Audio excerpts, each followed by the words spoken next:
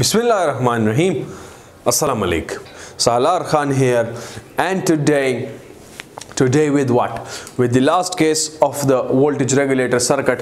We've already seen the first one. Vi the input voltage and the load both are fixed. In the second case we saw the load load regulation where the load is variable and the input supply is fixed. Today the number third that we see is what? That is the line regulation. So let me give the heading that is the line regulation. We already know from the introductory video what is a line regulation. So the thing is that the output is constant irrespective of whatever happens in the circuit. So the output is constant and over here the line regulation is that the input voltage is variable. So this means that the output voltage is constant irrespective of the input voltage being variable. So let me put an arrow over here for the variable source. So uh, and and and the load resistance would also be fixed in this case. So the load resistance is also fixed in this case. All right. So you know the thing R is the current limiting resistor, a current flows, I flows over here. IZ is the current flowing through the diode, IL is the current flowing through the load.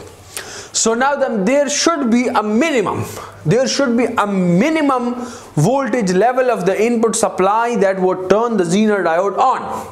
Which means what? That would force the Zener diode to enter into the breakdown region yes? And how to determine that minimum voltage level? So again you know that very well. You know that very well that we open circuit it. We open circuit this terminal and we find the voltage. So the voltage is basically equal to v output and you know that very well that the voltage across the open circuited diode let it be v this is equal to the output voltage v naught which would be equal to what? So you can you know this very well i have done it multiple times. Uh, this is vi times rl this is vi times RL divided by R plus RL. Voltage divider rule simply, right? Yes. Now, now what happened? This voltage, this voltage should be greater than VZ. This voltage should be greater than the Zener potential of the diode in order to enter it into the breakdown region. So the minimum voltage level required for this case if I write is, so I would write a minimum with this and I would just, just equate it to the Zener potential. So that would be just the minimum one to turn it on. So what do I say? I would say VI minimum into RL divided by R plus RL and this is equal to Vz yes and you know what I have? Done the meaning of this you know it very well. So this implies what? That you've got the value of your VI minimum. So you've got the value of the input minimum voltage to turn the Zener diode on. So this is R plus RL times Vz and further divided by the value of the load resistance RL further simplified for yourself that is something for you to do. You can whatever you want to do with it. So this is the minimum voltage required that will turn the Zener diode on. Now what would be the maximum the maximum uh, allowable the maximum allowable uh, limit for the for this voltage across the diode? So that would be limited by what? Yes by the current so Vi maximum, Vi maximum will be limited by what? Is limited by by Iz maximum, of course, Iz maximum. And Iz maximum comes from where? It comes from the power rating of the device, which is Pz maximum. This would be equal to Vz times Iz maximum the maximum power dissipation or the minimum power what the minimum power? Rating of a device. Okay. So uh, yes what is next? What is next? So you, from here you can see that I which is let's say for instance IR the current through the resistor this one IR so this is equal to what? This is equal to IZ plus IL yes? Yes. So what happens is if you see so rl is a fixed quantity. So rl is a fixed quantity. V naught is a fixed quantity. So which means that v naught is il times rl now rl is fixed. V naught is fixed. So which means that il is fixed Yes, yes. And Zener diode current has to be variable. So if this is variable, this means that the load current would also be variable in the, the, the resistive current would also be variable in this case, which means I could write what? I can write two equations from here that if I have the load resistor current to be the, the current limiting resistor to be maximum current, this would imply that the Zener current would be minimum plus IL fixed. No, this is wrong. This is wrong. This should also be maximum, right? This should also be maximum and I have written it somewhere over here. Yes. Yes, yes, this is maximum. Yeah, because fixed plus variable, so you have to make it a maximum. And similarly, if the if the for this to be minimum, the Zener current has also to be minimum over here. Why? Why? Because the load current is fixed yes? Yes. And I input you can calculate. This is also called the input current or the resistive current you could say. IR you could calculate from where? You could calculate from V input minus VZ divided by R. Now I, why did I write VZ IR is variable because the input voltage is variable right? So if the input voltage would be maximum the current would also be maximum. And if this vi is minimum this ir would be minimum. So you can further write the two cases over here that if ir minimum ir minimum when it happens for vi minimum minus vz upon r. Similarly, IR maximum, when would it happen? It would happen for VI maximum minus Vz upon R. Yes, yes. The power dissipation we've already discussed. I hope it is clear and I also hope that I have not missed any point. V input is VR plus VZ. V input is VR plus VZ. Yes? Yes. So if I write over here that V input is VR plus VZ. Now again, have a look. The, the VZ is a fixed quantity. VZ is a fixed quantity. So which means that if the input voltage is maximum, the VR would also be maximum.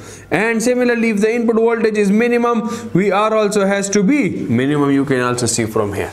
Right? Yes. Now I don't think that I have missed anything everything is uh, uh, done yes yes so let us have an example let us have an example from the book okay where is it IR maximum would be IZ maximum plus IL. IR maximum would be IZ maximum plus IL which is the fixed quantity. Yes it is. So I hope this is clear. Yes? Yes. So example and this example number is 2.28. 2.28 is the example number. Determine the range of values of v input. Determine the range of values of v input. Uh, so v input is let's say unknown right? Yes. And then what happens is uh, that will maintain the Zener diode in the on state. So which means again you need to know the minimum and the maximum values. Okay so the, the the things are given v input is unknown of course. You have r is 220 ohms. R is 100 uh, r is 220 ohms. Uh, vz is 20 volts. Then you have what? You have iz maximum is 60 milliamperes Iz maximum you would see a small m in the subscript. This is maximum. And when you see a k that is the knee current for minimum okay? Yes. And then you have rl which is 1.2 kilo ohms. So rl is fixed at 1.2 kilo ohms and the range of v input is unknown. So have a look. Can you not do it by yourself can you not do it by yourself? You can. So v input minimum. V input minimum. This is the formula. R plus rl divided by rl into vz so have a look. V input minimum. Would be r plus rl 1.2 kilo so let me name a 10 power 3 and divide into Vz which is 20 divided by RL 1.2 into 10 power 3. You can do your calculations. The input minimum voltage comes out to be 23.67 volts. 23.67 volts. 23.67 volts. Yes? Yes.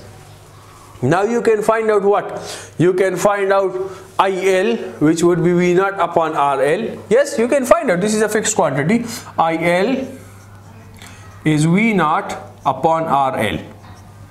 So IL V naught would be 20 divided by RL is a 1.2 kilo. What is the answer to this? 16.67 uh, milliamperes 16.67 milliamperes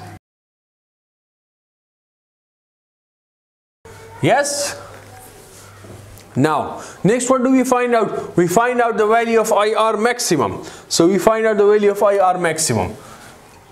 Now why am I doing this? Why am I doing this? So let me tell you. Wait a minute wait IR maximum is IZ maximum plus IL IZ maximum is 60 plus you have a 16.67 this comes out to be uh, 76.67 milliamperes. Now why am I doing this? So have a look. I need the value of V input maximum. So for that I need VZ is fixed. I already have it. I need VR maximum. So for VR maximum I need to have IR maximum. And for IR maximum I need to have IZ maximum and IL yes? So i had il i had iz no sorry i had iz i found out il so if i found out il now i found out ir yes? So from ir i would find out vr yes? Yes. So vi vr vr maximum. Vr maximum. Would be what? It would be ir maximum times r. So which is equal to uh, this thing 76.6 milli into into r is a 220 milli right? So so vr maximum comes out to be have a look.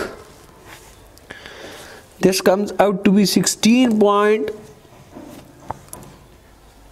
6 16.87 16.87 16.87 and and this is in volts right? In volts right? Uh, yes yes.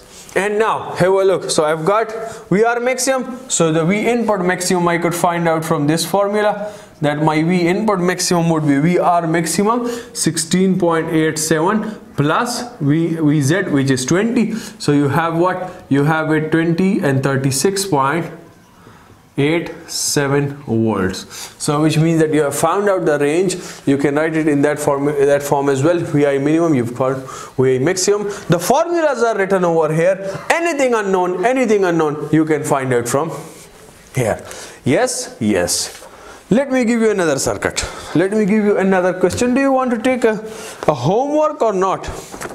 Anyways let me do it. Let me do it. You have the input is a 6 volt battery is shown right? V input is 6 volt battery is shown. Consider this figure. If you consider this figure you have a 6 volt battery shown. The regulated voltage is 5 volts across the so, so let me keep writing over here. So the question input is shown as 6 volt battery. I'm coming to this. I'm, i have the question on line regulation right? Similarly then you have v output which is equal to 5 volts across 1 kilo ohm load. So RL is 1 kilo ohms. IZ minimum is given is 2 milliamperes. So IZ minimum is given that is 2 milliamperes. And V input may vary. V input may vary 5% from its nominal value of 6 volts. So this is the question. That V input may vary 5% from its nominal value. Now this is the question basically. The only understanding point is this one. If you understand this, you, you have done everything, right? What is unknown? The value of the current limiting resistor is unknown. Or I told you this is also the also may, may, may also be the this may be the internal resistance of the source or it may be the series that is the current limiting resistance. So R is unknown and the power rating of the device is unknown. Power rating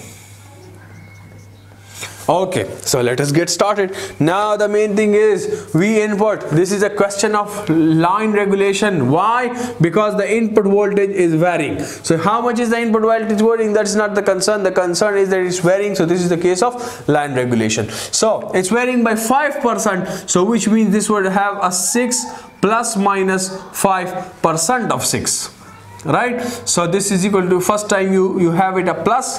5% of 6 is what? It's a 0.3 right? 5% of 6 is 0.3 so which means you have a, a minimum value. V input minimum. This would be equal to 6 uh, minus 0.3 which would be equal to 5.7 and then you would have an input maximum value which will be a 6 plus 0.3 this is a 6.3 so this is what you have this is what you have. So now you can do it now you can do it yes? Yes. Anyways let's do it a stepwise let's do it a stepwise. So v naught is equal to vl which is equal to 5 volts right if you have v naught so which means you have got vl as well. V naught is equal to vl is equal to 5 volts. Now if you have uh, v naught you can find out il because you also have rl so il would be what? V naught is 5 and divided by 5 so il is a 1 milliamperes so you've got il as well now if you got IL, this IL is a fixed current. This IL is a fixed current, you know very well. Yes? Yes. So, have a look to these two formulas. You have IZ maximum? No. You have IZ minimum. So, which means you can find IR minimum. Yes? Yes, you can find out IR minimum. So, if you find out IR minimum, let's say IR minimum so this would be equal to what? This would be equal to Iz minimum which is given in this case. Where is it? No, no, no, no. IR minimum is unknown. Iz minimum is given. Iz minimum is given which is a 2 milliamperes plus IL is 1 milliampere. So this becomes equal to 3 milliamperes. Now have a look. IR minimum is a 3 milliamperes. Now from here we can calculate the value of R we can calculate the value of R. How? Because IR is VI minus VZ upon R. IR is VI minus VZ upon R. Isn't it like this? So if IR is the minimum value, which means you would have to put the minimum value of the voltage as well. Yes, so this implies what? That 3 milliamperes is equal to Vi minimum which is uh, which is 5.7 minus Vj which is 5 divided by the value of R. So you do the cross multiplications. You've got the value of R which comes out to be what? 100 ohms. This comes out to be a 100 ohms. Fine? Yes now what do you do? Now why did I not use this equation? Because I did not have the value of Iz max. Now I need to find the power rating of the device. So power rating P is, is Vz times Iz maximum. Now I need Iz maximum. So how can I find it? Over here. Iz maximum, how can I find it? From here, from this formula. Yes, IR maximum is equal to this and this. So how can I find it? Have a look. IR maximum, let me name it equation 1.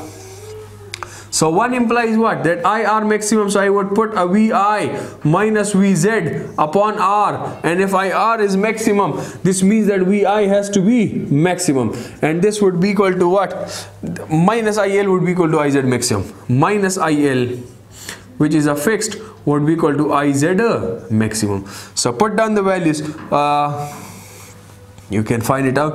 Vz is what? Vz is 5 and and put the values over here. So vi maximum is 6.3 minus 5 uh, and divided by r is 100 and you have a minus over here. Il is il we found out is a 1 milliampere. So you do the calculations pz the power rating of the device comes out to be 40 milliwatts.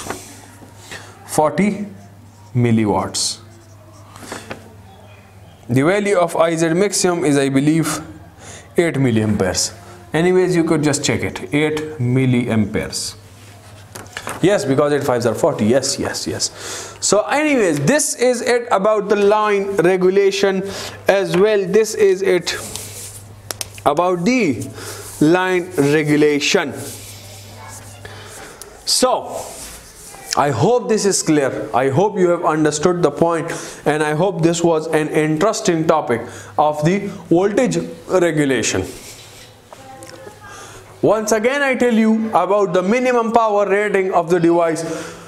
What is the minimum power rating? It is the maximum power wattage of the device. That is the maximum power dissipation of the device. Okay, so you need to keep this in mind. Minimum power rating is equal to maximum power dissipation this is a very very important point a very very confusing point. Most people get confused. Now over here as it was asked the minimum power rating. So most people do what? They put the minimum uh, diode current over here. So they get it wrong okay? Normally normally this should be greater. The minimum power rating is greater is greater but the power rating is greater than the maximum power dissipation but for minimum we write it as equal to it. Fine yes. Now this was we, we've discussed if we i is fixed r is variable. Then we have discussed if we i is variable r is fixed. And we also discussed if both of them are fixed. Now if let's say for instance i say the last case is case number 4 so just in a hurry i will write it down. That is not important. Basically the book has not discussed it but I have some formulas. So the fourth case you could say is that if both VI and RL are variable. So let me put a variable sign on the RL over here. Yes and let me take my copy. And also once again I am sorry. I always apologize for the background noises. This I have told you the reason is a very heavy construction going on in the side in the neighborhood. So under such condition we have to calculate the dynamic range of the current limiting resistor R. So under such condition, when both of these are variable, so for the diode to be on, this depends on the minimum value and the maximum value of this current limiting resistor R. So in this case R minimum, let me just directly use the formula Vi minus Vz upon R Vi minus Vz upon R. Isn't this the formula? It is. So R minimum would be what? When would it be minimum? When? No, no, this is IR divided by IR, sorry. This comes from I is equal to Vi minus Vz upon R. Yes, yes. So when would this R be minimum? This R would be minimum when this input voltage is minimum. And when this R is minimum, this would imply that the IR is maximum. VZ is already fixed. Similarly, again if I write, if I say R is equal to VI minus VZ upon IR. So have a look, for the maximum value of R, when would this R be maximum if the value of the current is minimum and when would this current be minimum when the voltage is minimum when the voltage is minimum right? When the voltage is minimum and over here I have a mistake yes. Because this resistance would be minimum if the current is maximum and the current is maximum when when the input voltage is maximum. Yes? Yes. Now it's fine. For variable problems in Zener diodes for variable problems in zener diodes in this case for variable problems in zener diodes what is the case normally normally the case is that IR is sometimes greater than or it is equal to IL plus IZ this IR may be sometimes greater. This is a rare case, okay, the last one you don't need to have it confused, you don't need to get into a detail, I'm just writing out the formulas. This is what Vi minus Vz upon R. So this would be greater than or equal to IL plus IZ and I finish this video over here. I finish this video over here because I believe that this is an enough uh, discussion on the topic of voltage regulators. That is it for me. If you have anything else, you may ask in the comment section. I believe the next topic is what? Bipolar junction transistor. Till then, take care of yourselves and everyone around you. Do remember me in your prayers. Do subscribe to the channel. Goodbye.